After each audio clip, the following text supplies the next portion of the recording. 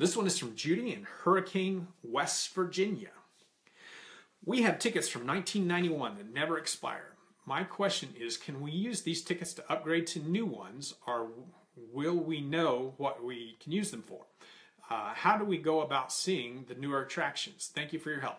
Um, Judy, very, very easy to upgrade tickets, not upgrade, to, to use older tickets. If you have old tickets, uh, you take them to a ticket desk, which is either at the hotels, the, the ticket kiosks at the hotels, or the concierge desk at the park, and you exchange them for new tickets, for tickets that work today.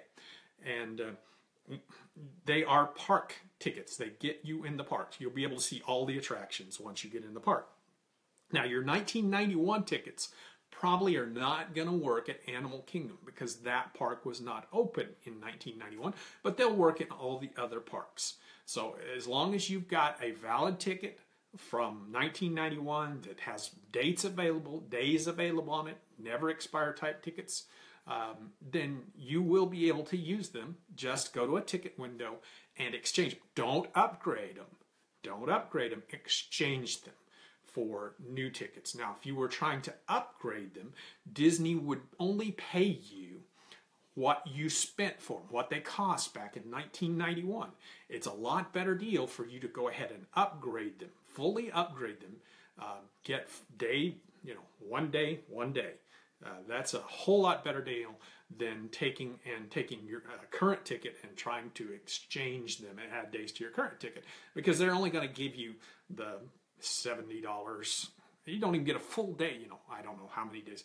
I don't know how many days you have and what you paid for them, but they tickets were a lot cheaper back in 1991, so you won't get much out of them.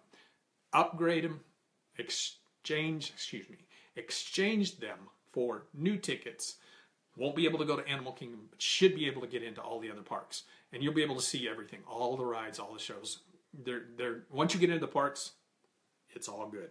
All right, the bottom line, Dad's bottom line is go to a ticket window.